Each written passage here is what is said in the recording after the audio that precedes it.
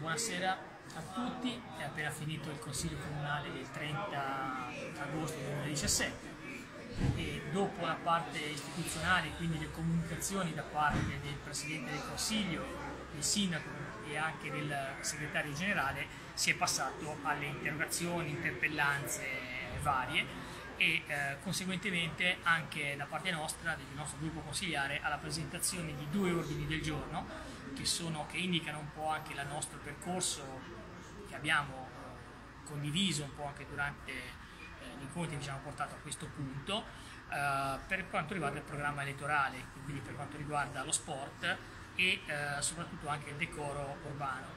Uh, in questo caso quindi l'adesione, il primo ordine del giorno presentato dal consigliere Del Nero è, è l'adesione da parte del comune, quindi come ente, al portale e alla piattaforma decorourbano.org. Il secondo invece è un'adesione per quanto riguarda lo sport alla carta etica dello sport proposta quindi dalla regione toscana e che invito la consigliera Guerra magari a essere, come ha fatto durante il consiglio, essere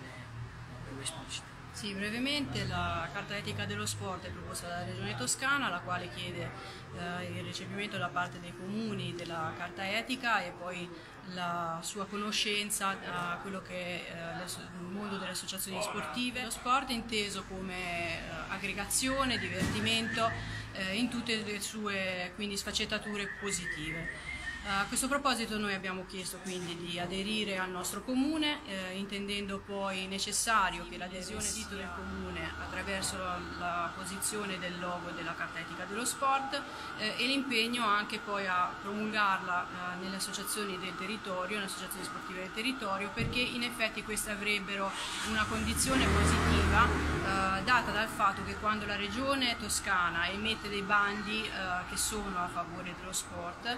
normalmente normalmente le società sportive che hanno aderito alla carta etica dello sport eh, salgono diciamo, in, uh, nelle graduatorie, così come anche quando la Torre Regione Toscana uh, fa dei bandi in concomitanza col CONI, normalmente uh, sono bandi che riguardano invece la possibilità per le famiglie di poter